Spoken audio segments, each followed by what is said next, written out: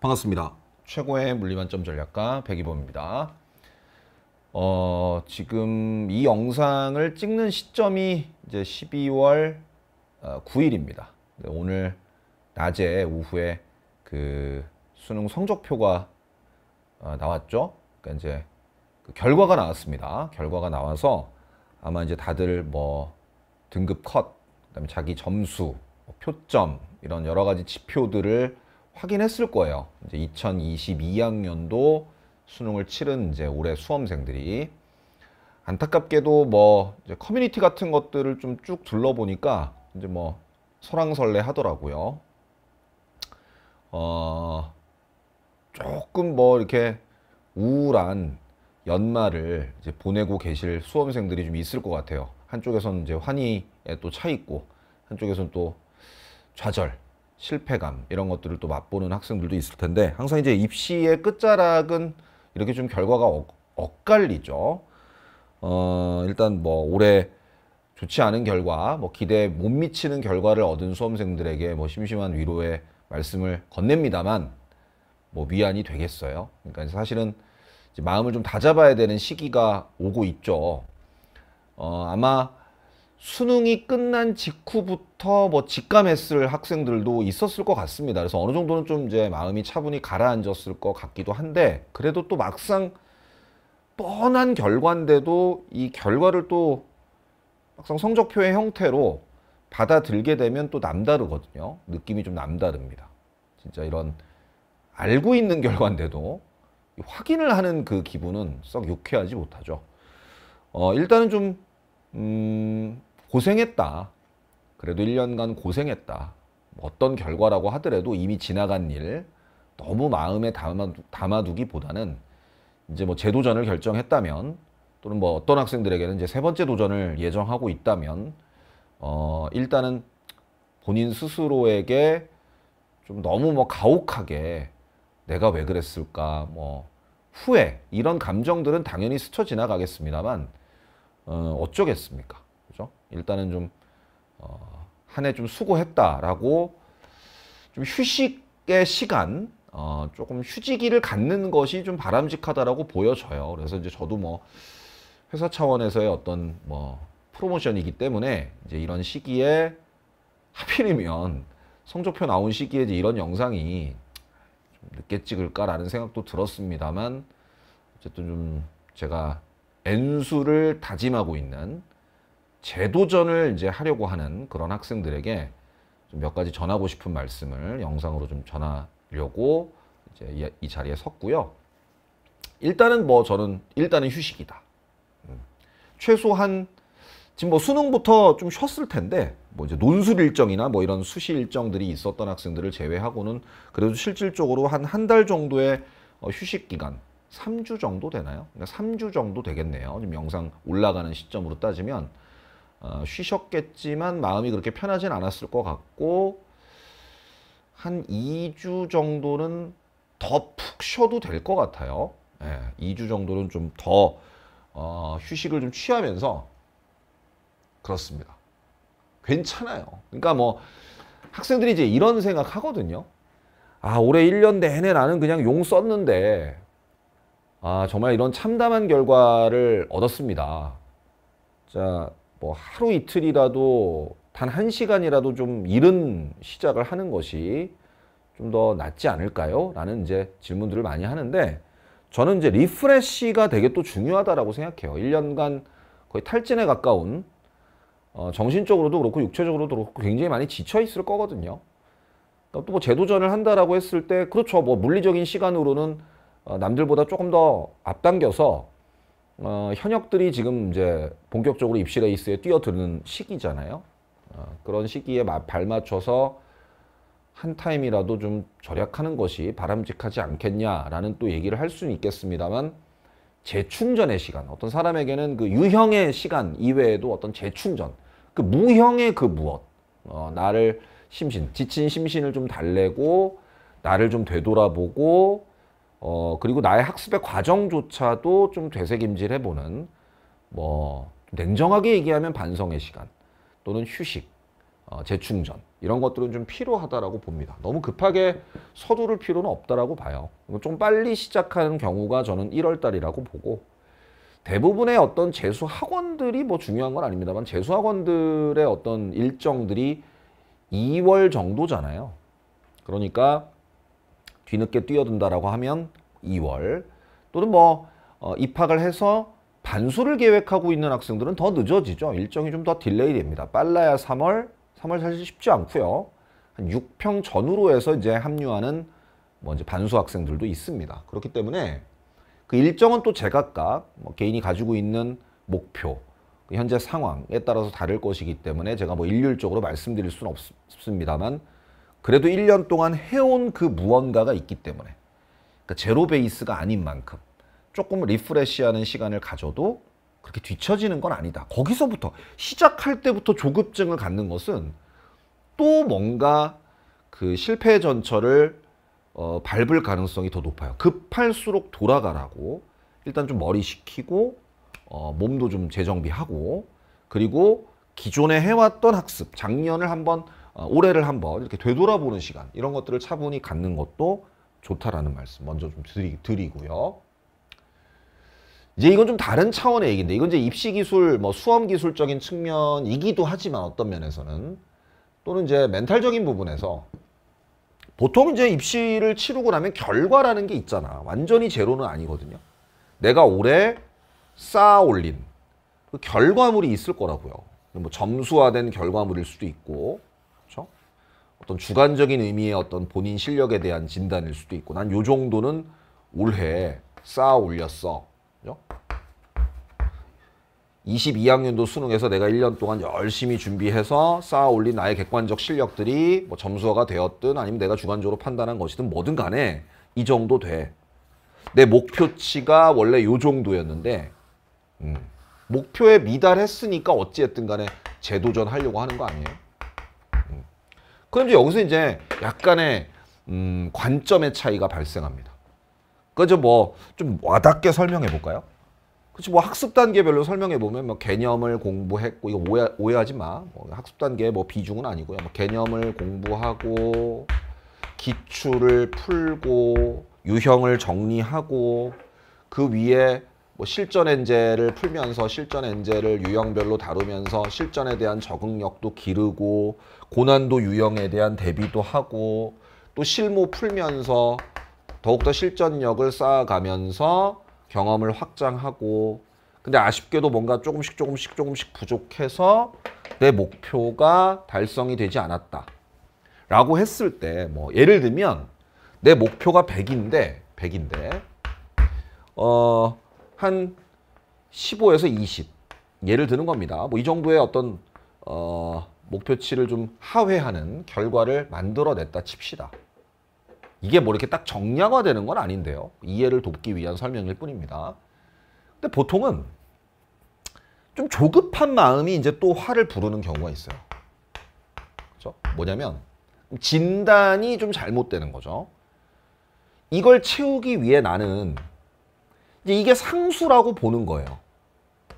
내가 작년에 또는 올해 쌓아 올렸던 이런 어떤 뭐 점수화된 어떤 음, 현재 나의 실력이라는 것이 상수화된 그 무엇이라고 보고 고정불변의 그 무엇이라고 보고 벽돌 한 장을 더 쌓는 기분으로 공부를 하겠다. 다시 말하면 아니 뭐 나는 뭐 개념도 공부했고 기출도 공부했고 엔제도 충분히 풀었고 실무도 충분히 풀었으니까 요 정도의 점수를 메꾸기 위해서는 난이도라는 변수를 고려하지 않더라도 문제를 열심히 풀어서 작년에 했던 학습 그 위에다가 어떤 심화 학습이라든지 또는 유형 학습이라든지 또는 뭐 문제풀이 뭐 이런 것들 위주로 어 부족한 그 20의 실력을 채우기 위해 공부를 한다라고 하면 저는 태도적인 측면에서는 다소 오만하다. 음, 안타깝지만 오만하다. 그 다음에 어, 어떻게 보면 이 학습 단계별 성취의 측면에서도 뭔가 잘못 생각하고 있는 거다. 무슨 얘기냐면 이 20이 부족했던 이유가 과연 그 심화 학습의 문제인가? 또는 유형 정리, 또는 어떤 신유형에 대한 대비가 부족했기 때문이냐 또는 문제풀이의 양, 문풀 양 의 문제인가라는 것은 정확한 진단이 불가능합니다. 음. 알 수가 없어요. 그렇죠? 아, 저는 알겠는데요? 이러면 좀 뭐 되게 모르겠어요. 그것도. 그것도 오만하다고 보여집니다. 저는 개인적으로는. 그러니까 어디서 빵꾸가 났는지 속칭 빵꾸가 났을 텐데 학습 결손이 발생한 거 아닙니까? 그럼 이제 그 학습 결손이 어느 단계에서 어떤 과정으로 구체화돼서 여러분들의 실점을 유발하는 그런 원인이 생겼는지는 정확한 진단은 사실은 부, 예, 불가능하죠. 그렇기 때문에 이 N수라는 이제 제도전, N수라는 제도전, 예를 들면 재수다.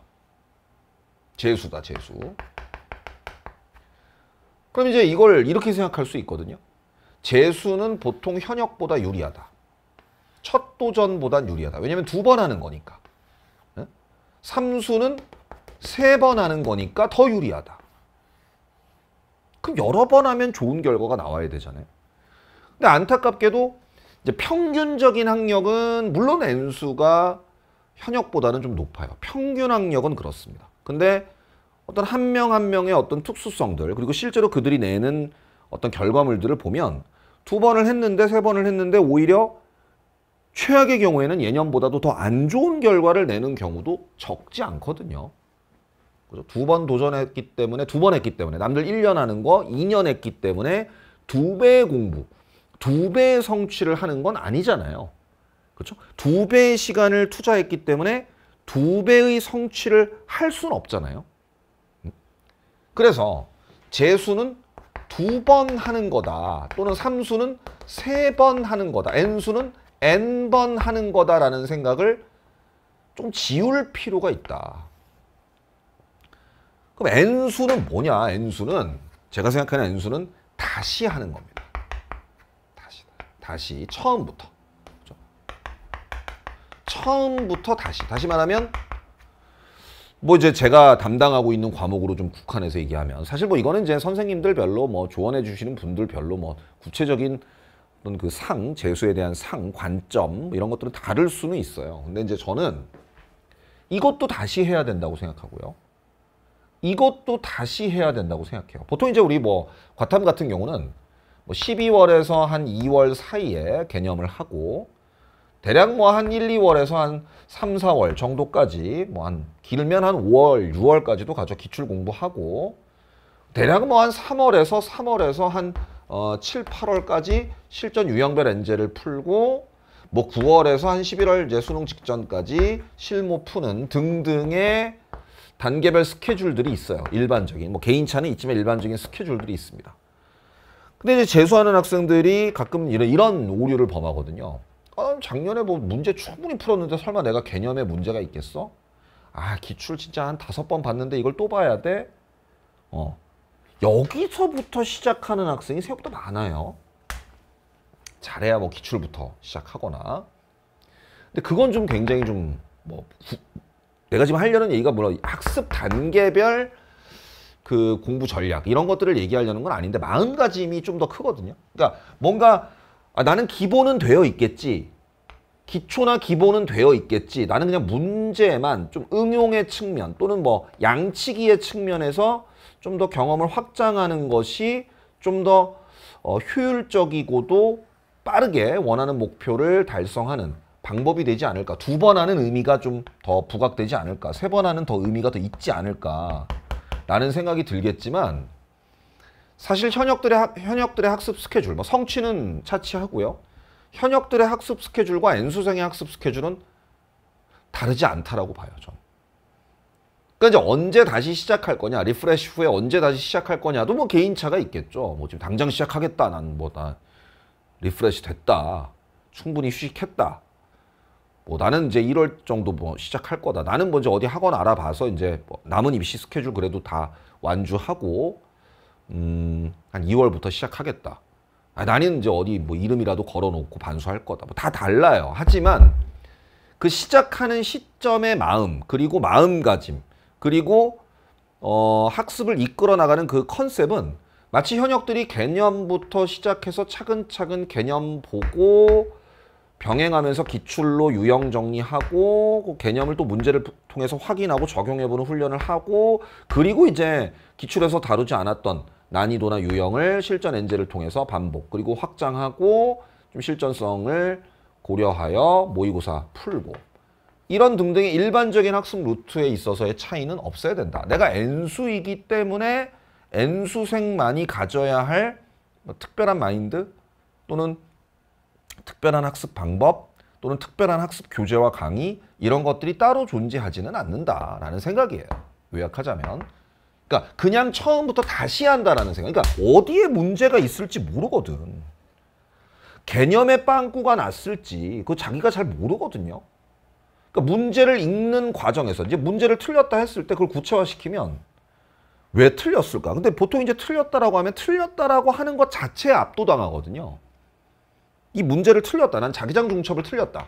자기장 중첩을 틀렸다고 하면 아, 난 자기장 중첩을 틀렸다라고 하는 사실에만 압도당해서 난 자기장 중첩을 열심히 할 거야.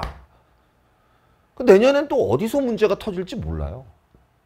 예를 들면 A라는 개념이 있는데 A라는 개념에 대한 A'이라는 유형에 대한 문제는 난 올해 맞췄어. 근데 이거는 이것도 조차도 상수는 아니거든. 운일 수도 있죠. 문제를 살짝 잘못 해석했는데 답을 맞췄다. 이런 것일 수도 있고요. 그러니까 어디에 빵꾸가 나고 어디에 객관적 약점이 존재하는지를 알아보기 위해서는 밑바닥부터 다시 다져가야 돼요.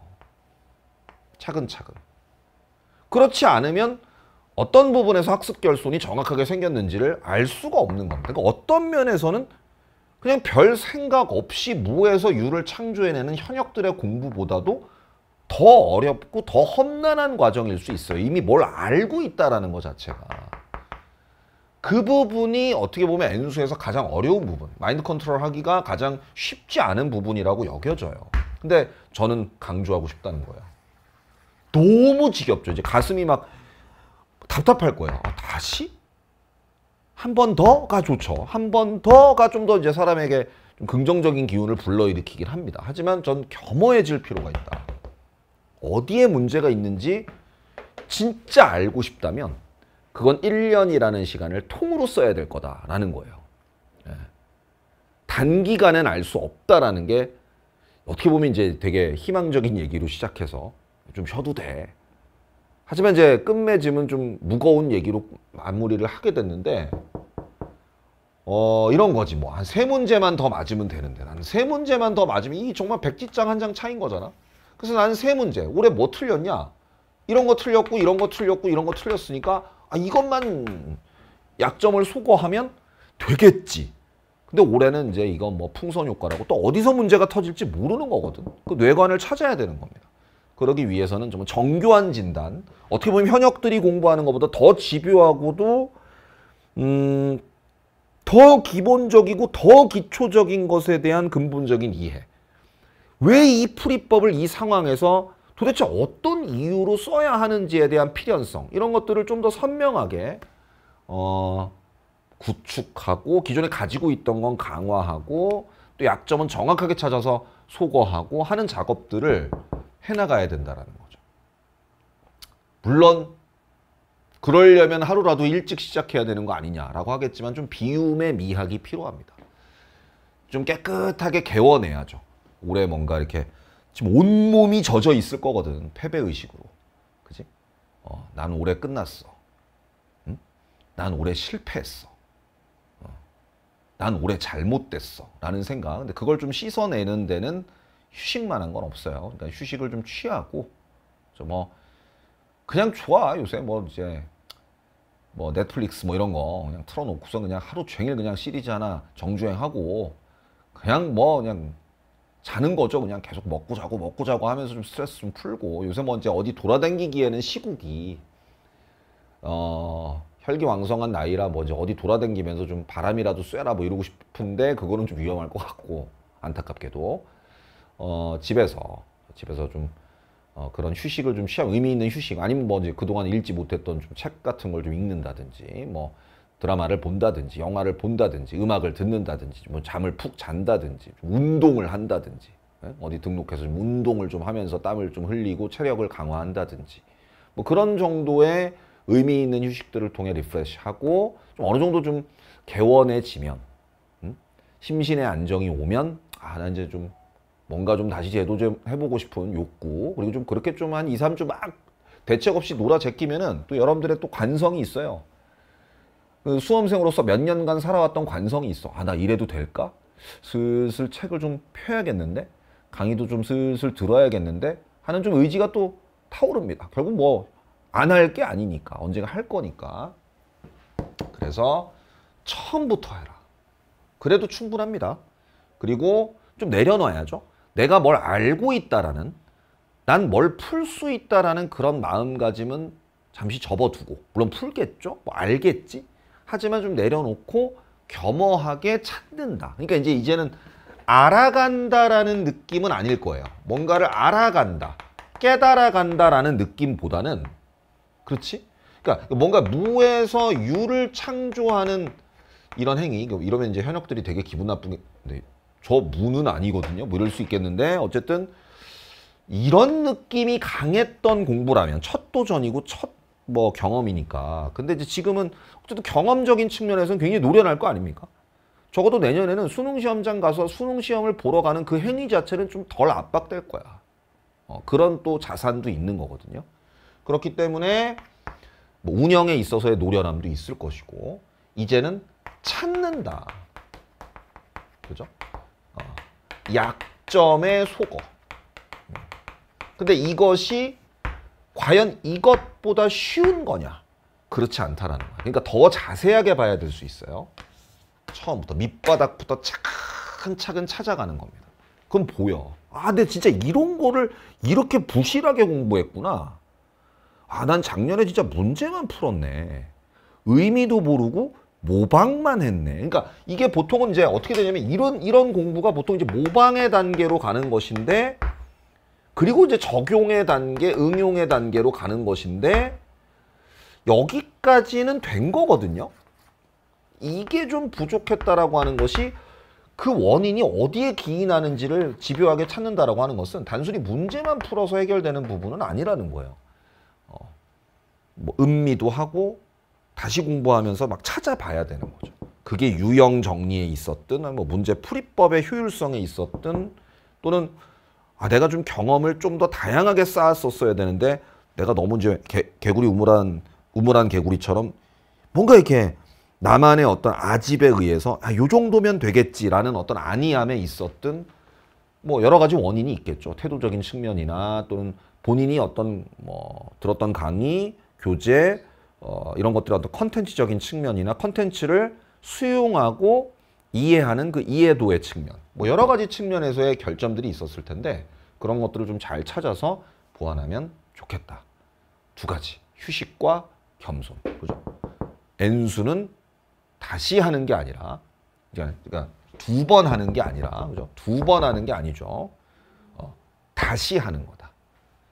재도전인 거죠. 재도전. 다시 처음부터 출발선상으로 돌아갔다. 이게 좀 불쾌하지만 난 출발선상으로 같은 출발선상으로 난 좀 앞서 있어. 그러니까 달리기 하는데 현역들은 여기서 출발하는데 에? 예? 나는 그래도 뭔가 있으니까 난 여기서 출발한다. 뭔가 어드밴티지를 N수는 뭔가 어드밴티지를 가지고 있다. 라는 생각을 좀 버렸으면 좋겠어요. 난 여기로 가는 거죠. 얘네들하고 똑같이. 여기서 다시 뛴다. 여기서 다시 뛸 거다. 라는 생각으로 임해야만 어느 정도 의미 있는 결과, 음, 그런 걸 찾을 거라고 저는 봅니다. 물론 이제 이 부분에 대해서 뭐 이견은 있을 수 있어요. 뭐 내가 뭐 무조건 옳다. 라기보다는 그간의 어떤 많은 수험생들을 이제 경험하면서 그런 아쉬움이 있는 어, 그런 태도로 이제 연수를 하다가 안 좋은 결과들을 내는 경우들을 좀 많이 봤기 때문에 에, 그런 좀 조언을 해보게 됐습니다. 어쨌든 날씨가 좀 아직은 뭐 이렇게 춥진 않아요. 이제 12월 중순이고 아, 좀 걱정되는 거는 뭐 2년간 유행했던 코로나가 언제 끝날지 모르겠고 지금 뭐 확진자 너무 나오고 있어가지고 역시 또 동선이 제약되는 상황이고 여러 가지로 좀 답답함이 이어지고 있을 것 같아요. 근데 좀 아, 그런 부분은 제가 뭐라고 말씀드리기가 참 힘든데 또 어떤 또 내년에 예정되어 있는 어떤 힘든 일정들 어, 그래도 긍정과 희망의 관점에서 보자면 그래도 우리는 어떤 이런 힘든 것들을 잘 이겨내 오고 겪어 오면서 쌓인 여러 가지 또 노하우, 뭐 그런 강함 이런 것들이 있을 거기 때문에 내년에 좀 더 의미 있는 결과를 내는 데 있어서는 좀 긍정적으로 보자면 단련이 잘 된 거 아니냐. 그래서 잘 추스리시고 일단 휴식하면서 잘 추스리시고 이후 일정들 또 이제 휴식은 또 마냥 또 휴식만 하게 되진 않아.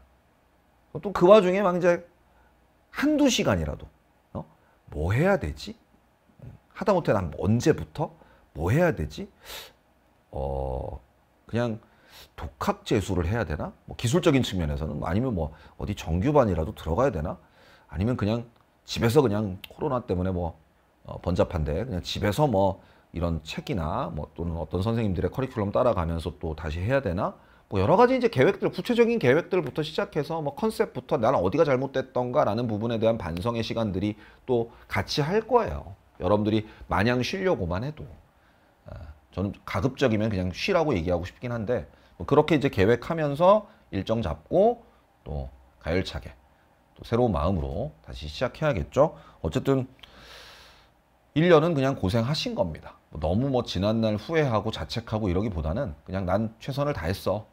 이것조차 길게 보면 인생은 뭐 길게 보면 희극이라고 하잖아요. 그러니까 길게 보면 이것조차도 더 잘 되기 위한 또 내가 좀 더 성장하기 위한 어떤 아주 좋은 자양분이 될 거다라는 긍정적인 마음으로 좀 잘 추스리셔서 회복하시고 어, 내년에 하여튼 더 좋은 결과, 뭐 더 좋은 결과 내야지 뭐 2년 도전하는 건데 그 이상의 결과를 낼 수 있도록 음, 저도 이제 좋은 강의를 통해 늘 마음적으로도 응원하도록 하겠습니다. 이후에도 또 이제 다양한 주제들을 통해서 이제 올해 또 시작됐으니까 아, 새로운 또 2023학년도 레이스가 시작됐기 때문에 저도 다양한 주제들을 통해서 또 캐스트 영상 올려드릴 테니까 아, 그때 또 함께 하도록 하고요.